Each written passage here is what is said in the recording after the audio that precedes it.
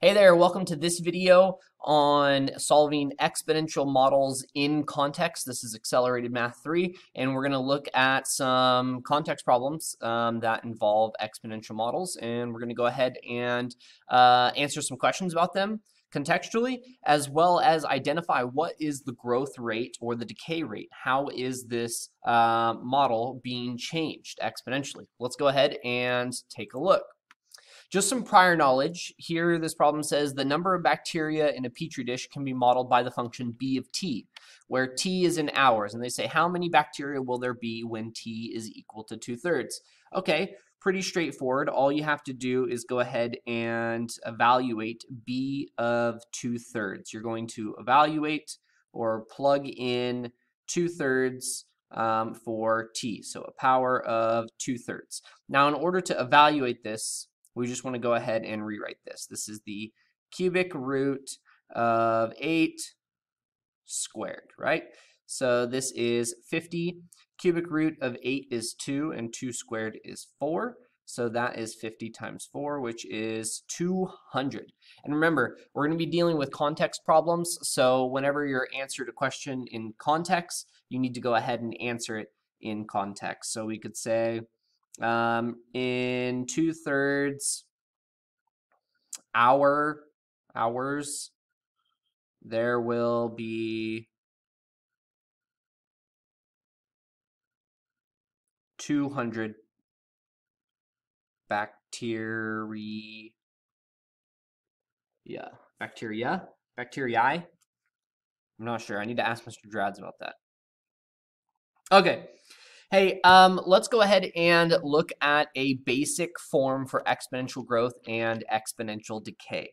Exponential growth, now you know that and in order to be an exponential growth, the base has to be bigger than 1.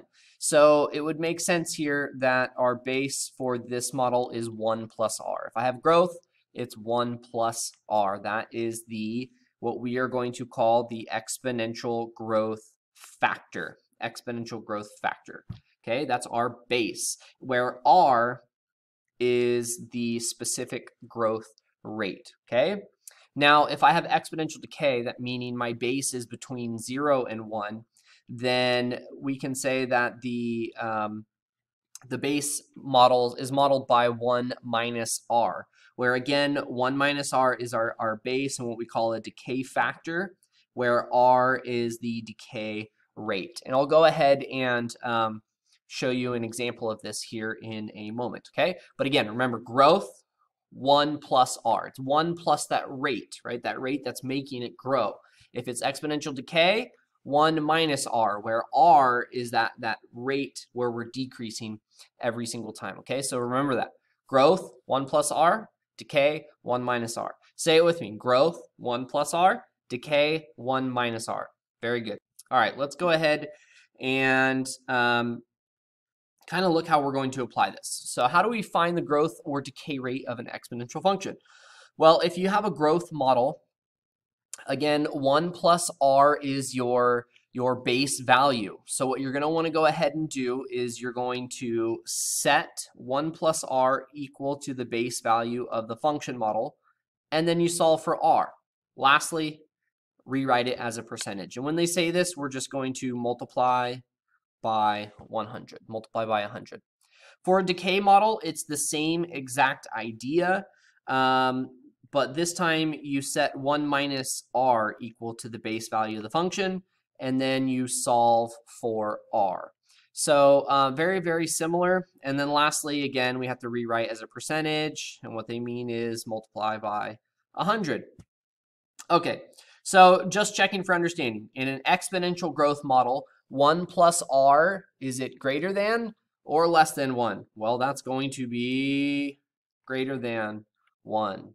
Okay, the base needs to be greater than 1. In an exponential decay model, 1 minus r is going to be less than 1. Less than 1, right? It's exponential decay. Okay, so let's go ahead and um, apply this. They say determine the growth or decay rate of each function and what it represents in context.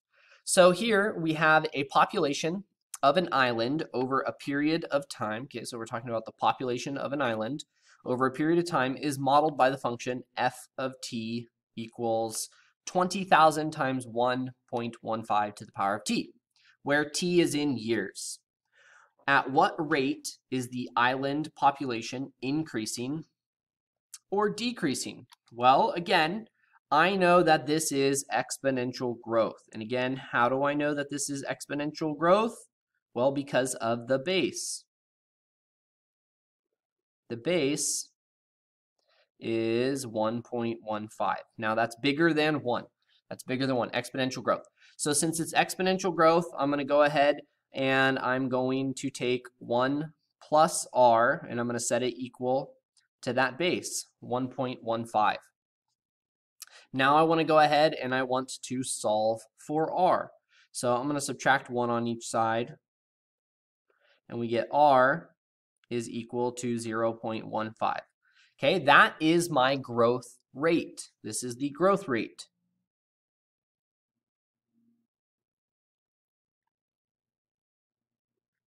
Okay, but now we have to go ahead and we want to rewrite it as a percentage. So we'll multiply by 100 just means that you move this decimal place two places to the right. So we have 15% is the growth rate, 15%. Okay, now we want to answer their question in context. At what rate is the island population increasing or decreasing? So we can say the island population is increasing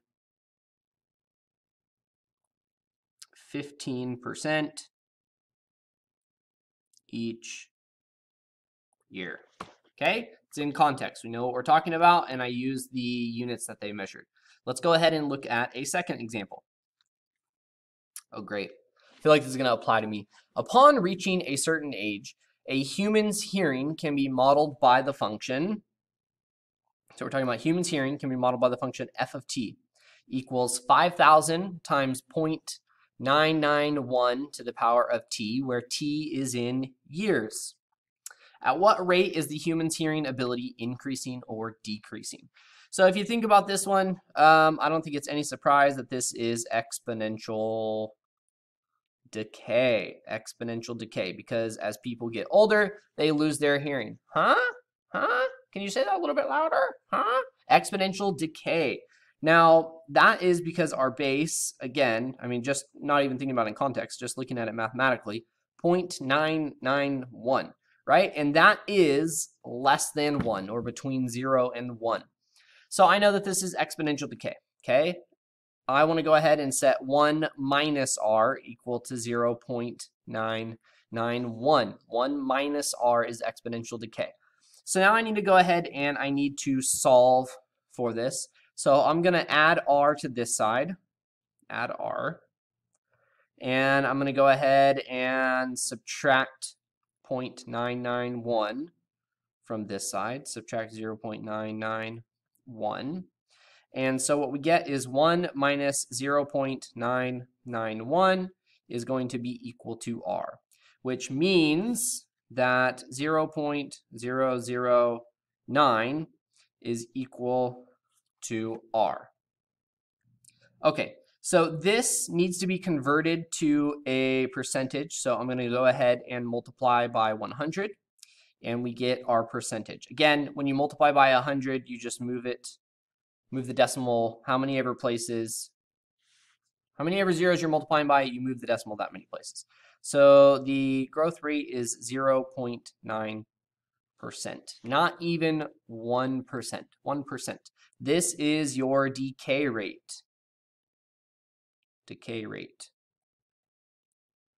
All right, so what does that mean? It means, um, did they say like on average?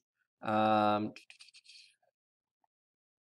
we can just say the humans hearing is decreasing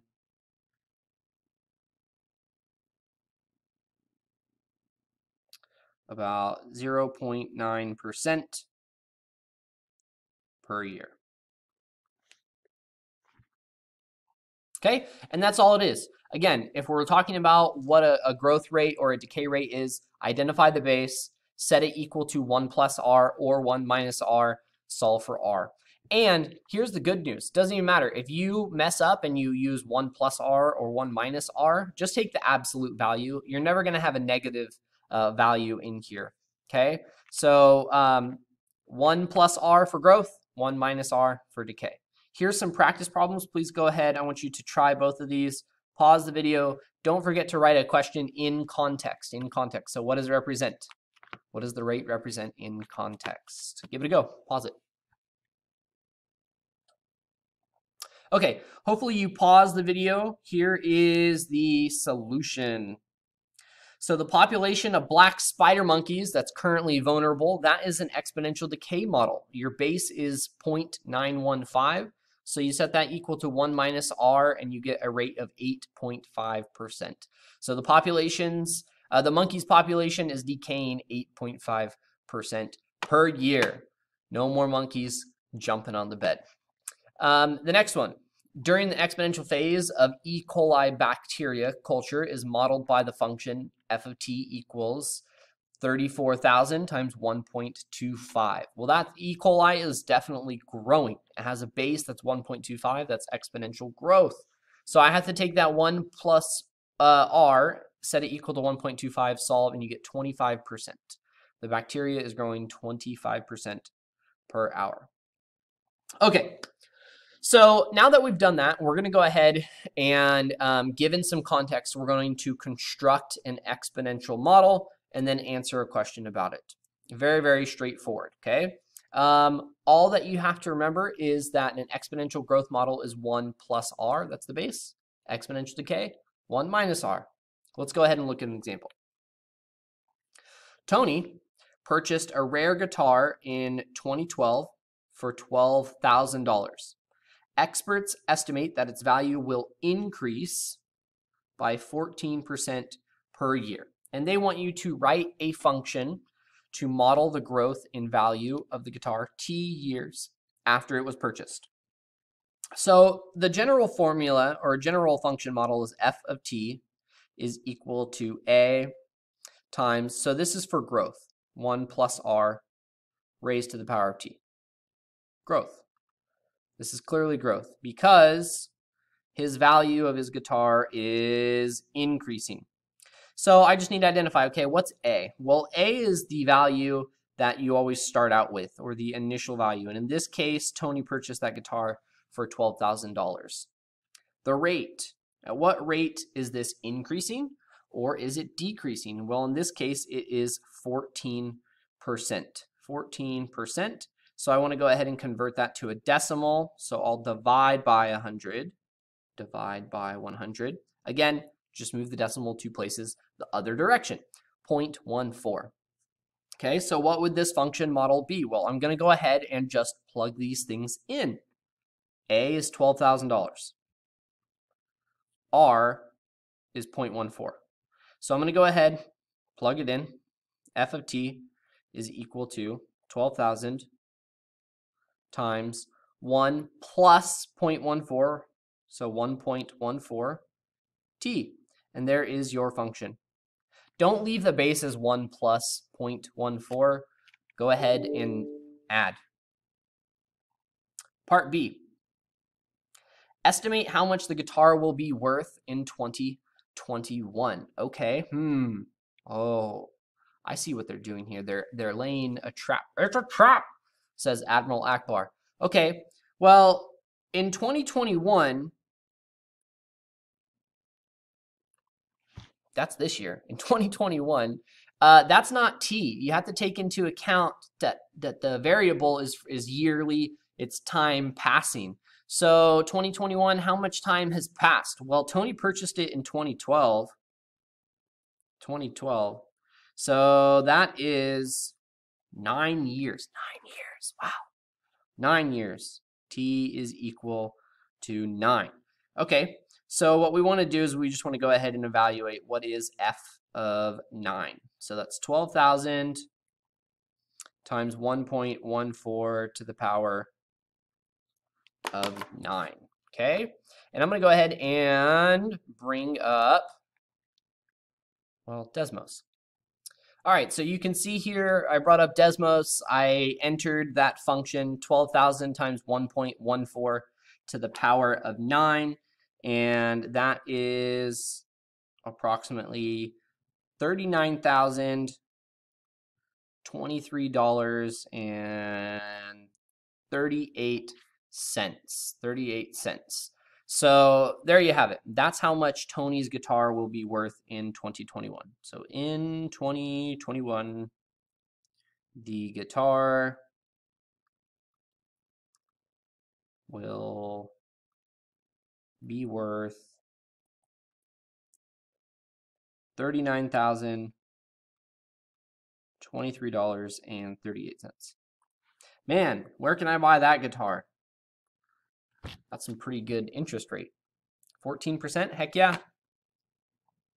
Okay, let's go ahead um, and look at a, a, graphical question. So here's a graph of, of the value of Tony's guitar, and they say, when will it be worth $45,000? Well, you can see the axis on the uh, y-axis is the value of the guitar. So all we have to do is find, okay, where's 45,000? Well, here's 40, Here's 50, so 45 is going to be right in between. So I just need to go ahead and follow this. And it looks like right here. Okay, so that is right here, which we come down is about 10.2. If you said 10, I think that would be fine. So we could say, um, we could say Tony's guitar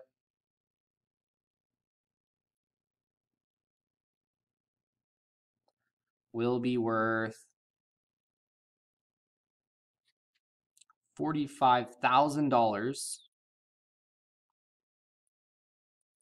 in about 20, remember he bought it in 2012. Uh, so in about 2022.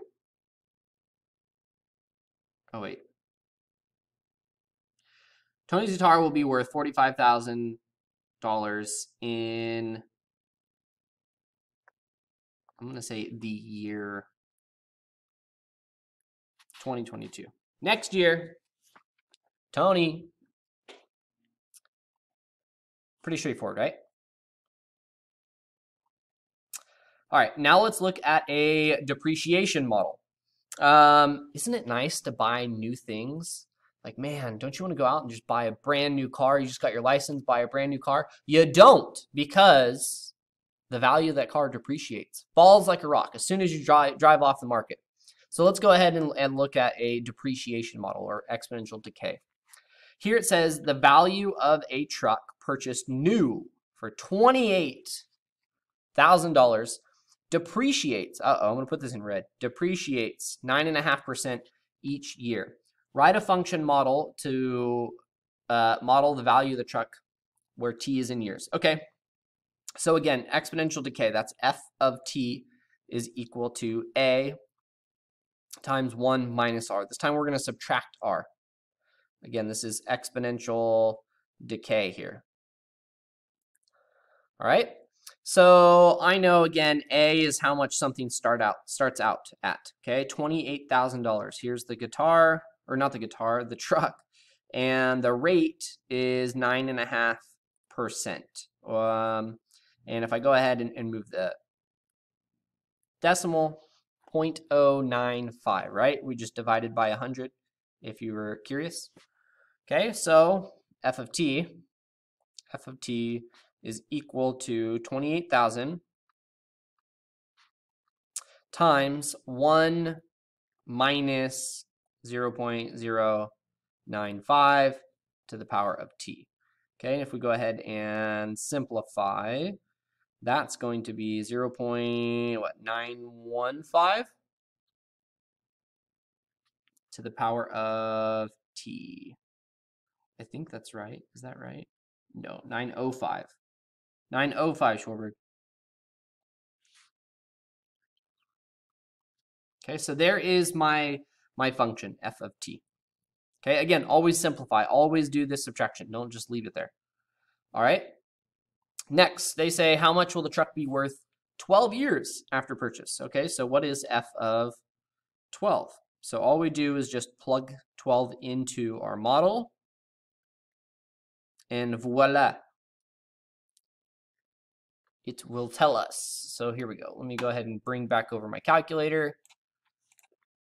So we have 28,000 times 0.905 raised to the power of 12 years. And that's how much it's worth in 12 years. $8,000, 451.64. Okay. So in 12 years, the truck will only be worth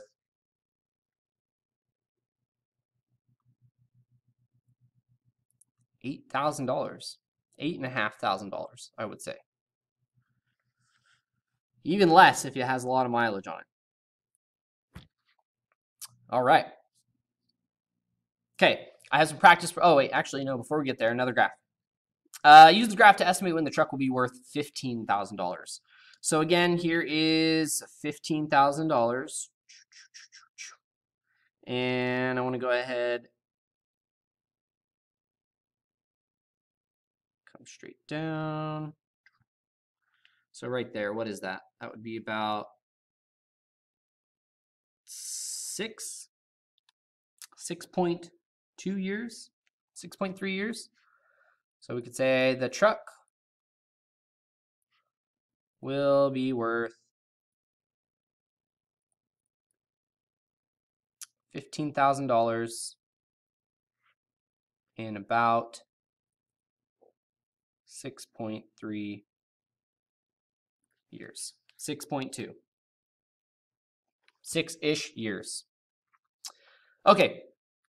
Uh, you're fine as long as you hit the ballpark. Just don't go to another planet. Like if you said in 20 years, well, 20 is clearly wrong. Uh, even anything maybe past eight years would be wrong there. Okay. Oh, hold on. Let me make sure I have the right problem up. All right, go ahead. Pause the video. Give this one a go. Please construct the exponential model for John's baseball card and how much it'll be worth in 40 years. All right, hopefully you pause the, the video. Here is the solution. So since his uh, baseball card increases in values 11%. It's going to be 3.25 times 1.11 to the power of t. And in 40 years, the card will be worth $211.25. Not as good of a deal, right, as that guitar purchased for a higher value, right, which had a higher, um, you know, growth rate too. Okay, here is another problem. Use the graph to estimate how long it'll take for the card to be worth $7,000. Pause the video. Okay, hopefully you pause the video. Here is the solution. It'll be worth $7,000 in about 73 and a half years. Save it, give it to your grandkid. Uh, John, was his name John? John? Yep. Grandkid will appreciate that baseball card. All right. Here is another um, example just in time for tax season. On federal income tax returns, self-employed people can depreciate value of business equipment.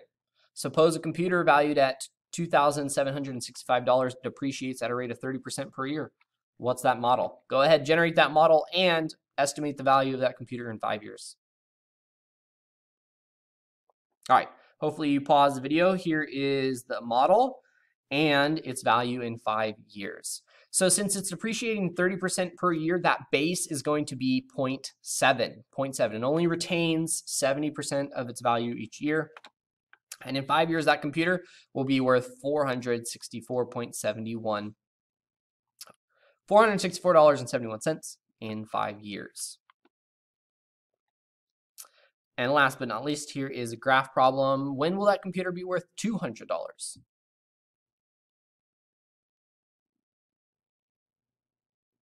Seven point three years.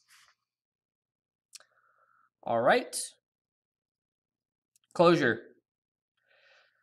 How do I know if something's exponential growth or exponential decay? Well, you should be able to tell in two ways. One, looking at it graphically, and one, looking at it uh, in its algebraic um, representation or its symbolic representation or in a function. So on the left, is this exponential growth or decay? Well, I know that that is exponential decay. That function is falling. Exponential growth or decay on the right? Well, I know that this is exponential growth because this base is bigger than 1. The base is bigger than 1. That's exponential growth. All right, hey, that's going to do it for this lesson. I uh, hope you learned something. Hope you learned how exponential models, growth and decay, um, are represented in situations around us all the time. Catch you next time. Peace out.